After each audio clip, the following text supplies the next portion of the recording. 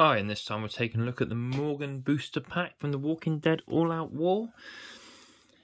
And let's have a look. What do we get in the Morgan pack?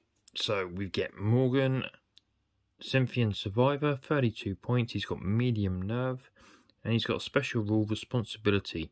If Duane or Carl is included in the same group, Morgan will not panic, which is handy.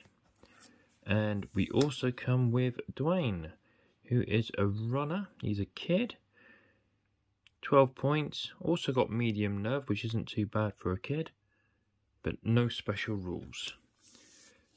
The equipment cards we get, we get the Springfield ranged weapon of 30 inches, so it's got a decent range, and it adds a white dice and a red dice to the attack roll.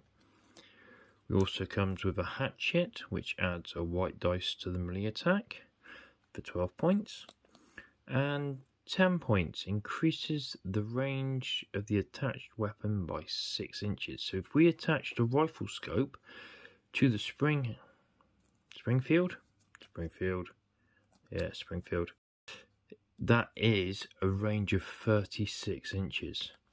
And then finally we get a shovel, 8 points, and it adds 1 red dice to the melee attack roll. And that's the equipment cards that we get in this pack.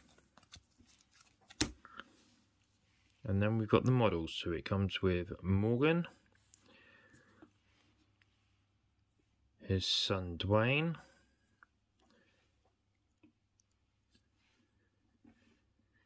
and Morgan's wife.